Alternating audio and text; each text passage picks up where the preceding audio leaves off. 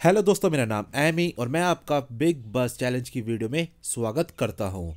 तो दोस्तों, पाँचवें क्वेश्चन से रिलेटेड अपडेट आ गया है। पाँचवें क्वेश्चन का अपडेट दिखाने से पहले मैं आपको पहले चार क्वेश्चंस के सही आंसर्स दिखा देता हूँ। तो दोस्तों, पहले क्वेश्चन का सही आंसर था ऑप्शन नंबर चार, जैस्मिन भसीन। सेकेंड क्वेश्चन का सही आंसर था option number two.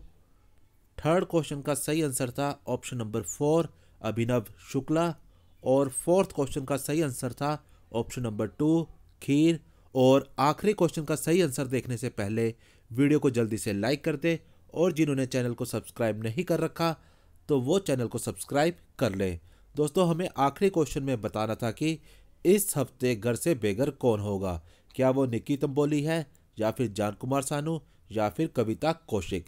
तो दोस्तों, इन तीनों में से मैं सबसे पहले आपको बता दूँ कि कविता कौशिक दो दिन पहले घर की कैप्टन बन चुकी है और इम्यूनिटी स्टोन विनर बनी है रुबीना दिलायक और इस हफ़्ते घर से बेघर हुए हैं जान कुमार सानू। तो इस क्वेश्चन का सही आंसर होगा ऑप्शन नंबर टू जान कुमार सानू। तो दोस्तों वीडियो देखने के लिए शुक्रिया। आपको इस एपिसोड के लिए good luck and take care